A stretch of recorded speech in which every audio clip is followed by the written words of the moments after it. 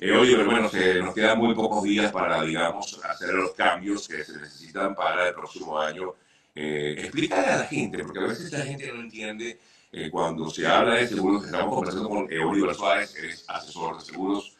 Eh, con él siempre tenemos una conexión todos los meses. Y precisamente hoy, bueno, se acerca ya la fecha límite, en teoría es el 15 de diciembre. Eh, correcto, correcto. Buenos días a todos.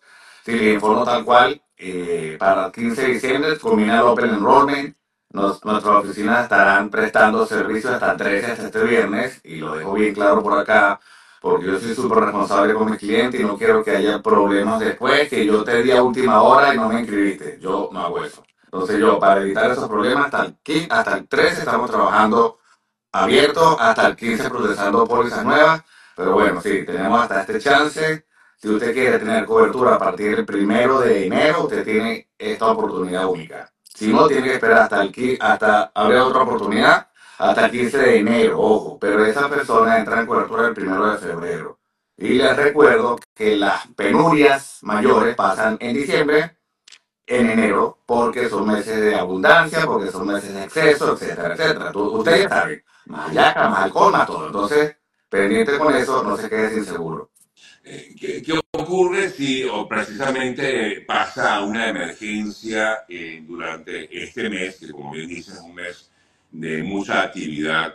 ¿Qué pasa si ocurre una emergencia durante el mes de diciembre y la persona no logra hacer cambios en su eh, en su mercado de seguros, es decir, no, no, no hizo ningún cambio, eh, sencillamente quedó por el plan que tenía. Ok, si tiene el plan actual, el plan actual suele renovarse automáticamente, pero no se renueva igualito que usted lo tenía, ¿ok? Porque los planes cambian año a año. Y como cambian año a año, lo que hace el seguro, si usted no, renueva, él, toma los datos que ya tiene suyo, dirección, estatus, eh, cuánto ingreso genera al año, y número de carga familiar que tiene y hace lo más cercano al plan que usted tenía, se lo coloca.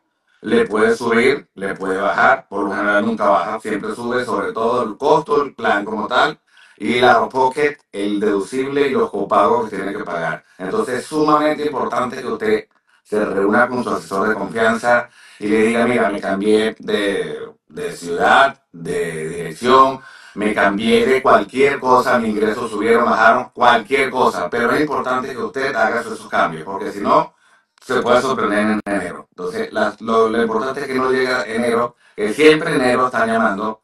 Me subí el seguro, me voy el seguro, fui al plan estaba cancelado, etcétera, etcétera, porque suele pasar. Entonces, no espera hasta el último momento.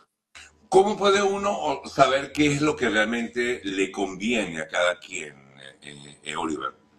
Es decir, eh, yo quiero hacer un cambio, pero ¿qué es lo que realmente me conviene? ¿Cómo sabe uno qué es lo que le, realmente le conviene a cada quien, dependiendo de qué?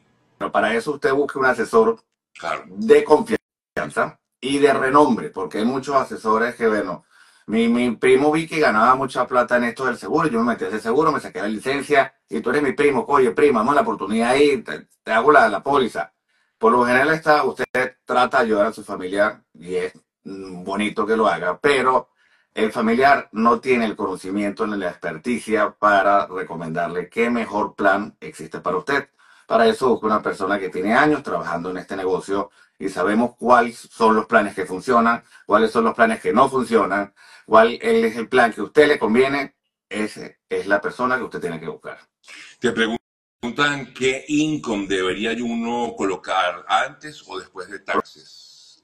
Yo siempre recomiendo que sea el taxe no es de usted. Ese es el tío Sam y eso se le reporta al tío Sam. Si usted infla su budget con el income que va a tener que pagar en los taxes, el taxe, acuérdese, no es suyo. Se tiene que devolver ese dinero porque usted lo ganó, pero lo va a tener que devolver. Claro. no tiene sentido pagar sobre un dinero que no es suyo ni va a tener ningún usufructo usted de ese dinero. Entonces usted va a pagar el neto sin el tax. Exactamente. Ahora, eh, una vez que, eh, pues eso forma parte precisamente de los cambios que puede haber, que pueden existir, ¿correcto? Sí, Oliver? correcto. Cualquier cambio de dinero que usted haga ahí va a subir o bajar el, su póliza, su, su prima mensual y sus beneficios. Ojo, porque si usted más gana, menos crédito le otorgan para su seguro, o sea que el seguro le va a salir más, más costoso. Y además que los copagos y los deducibles y el máximo bolsillo va a incrementarse significativamente. Te consultan acerca de seguros para estudiantes internacionales. ¿Existe? Sí, hay seguros para eh, estudiantes internacionales, igualmente que seguros internacionales para esas personas que no viven en el país, que viven por lo menos en Venezuela, pero se la pasan viajando por el mundo, etcétera. Cualquier persona que esté viajando por el mundo y requiera un plan así, también existe, sí. Sí, porque al final, para poder tener un seguro, lo que te exigen básicamente es tener un número de social. el número de social estatus migratorio, correcto. Y que este estatus migratorio sea cual sea el estatus. Cual sea, TPS, permiso de trabajo, para arriba, residentes, ciudadanos, cualquiera. Claro, claro, claro. No, porque siempre pasa esto muchísimo, que hay la confusión de si realmente no tienes, eh, bueno, estás en asilo, proceso de asilo, eso es un eso es un eh, estatus migratorio. Eso es un estatus migratorio. Cuando está en proceso de asilo, usted por lo general recibe un permiso de trabajo y el social. Porque si no, el país le otorga un asilo a usted o está pendiente asilo, porque está pendiente, pues no ha sido otorgado oficialmente el asilo, pero en ese proceso que puede durar años, y por lo general dura años, usted necesita trabajar. Y el Estado le otorga a usted un permiso de trabajo y un social. Claro, todo depende pues también de, de lo que de lo que tengas, de la, situación de cada, de cada quien. ¿Cuál es en, estos momentos, cuál es el, digamos, la, tomando en cuenta de que justamente el 15 de diciembre concluye este periodo de inscripción o de cambios, cuál es el mayor eh, denominador común de las personas? ¿Para qué normalmente buscan a un asesor de seguro? Bueno, los que yo son mis clientes ya me conocen, ya saben cuál es mi trabajo, qué es lo que hago yo con ellos y bueno, están súper agradecidos, yo con ellos obviamente. Eh, las personas buscan un servicio confiable, una persona que esté ahí por años y que sepa, que tenga el conocimiento para, porque yo voy a comprar un intangible, básicamente, yo voy a comprar algo que no me dan nada, me dan un papel y yo pago mensualmente por ese papel. Pero lo que yo tengo es la garantía de esa persona con quien yo me reúno, que me va a dar un servicio. El servicio es que usted va a tener un seguro que lo va a cubrir prácticamente cualquier necesidad médica que usted llegue a este, en este país. Médica o financiera, ojo, porque eso va pegado. Las bancarrotas, la mayoría de bancarrotas de este país ocurren por personas que no poseen un seguro médico, aunque usted no lo crea. No hay otra, esa es la mayor causa bancarrota de este país. La gente jura que este país, como cualquier resto del mundo, que uno va a un hospital y sí, lo atienden, es verdad. Pero las facturas médicas en este país son algo extraordinario. Gigantes, impagables. Cualquier persona, por más dinero que tenga, por más dinero que tenga, repito, no es capaz de costear un tratamiento largo en este país porque es impagable. Entonces, cuente con un seguro porque es sumamente importante. Eo, yo sé que no, no, no, no eres quien para decir absolutamente nada, pero por supuesto ahorita está en boga muchísimo este tema a raíz de lo que fue el eh, hecho ocurrido en Nueva York con la muerte de este importante representante, una de las compañías de seguros más importantes de este país. Y justamente parte del reclamo parece ser, porque están buscando todavía el móvil que habría llevado a este joven a cometer este delito, pero parece ser que se sentía frustrado eh, este joven eh, con el sistema de atención médica en Estados Unidos. Tú que trabajas y tienes años trabajando con el sistema de salud eh, y cómo se manejan también las operadoras de seguro, no sé, ¿pudieras comentar algo al respecto? Porque efectivamente hay una queja generalizada con respecto a cómo se ha manejado el sistema de salud durante tantos años en Estados Unidos. Ojo, sin ánimos de de justificar la acción de este hombre que no tiene bajo ningún concepto justificación, pero es como una especie de, de, inquietud que hay en la población. Sí, efectivamente, y yo estoy consciente de ello, los seguros en este país, igual que el, sistema de salud de este país, no es perfecto para nada, pero yo con mi experiencia que tengo acá he visto cómo este plan que yo coloco funciona. Ojo, no estoy justificando porque sí reconozco que tiene muchas fallas muchas fallas, por lo menos hay tratamientos que no cubren 100%, por eso es que yo coloco otros planes para que trate de, que sea completo la, la, la, cobertura.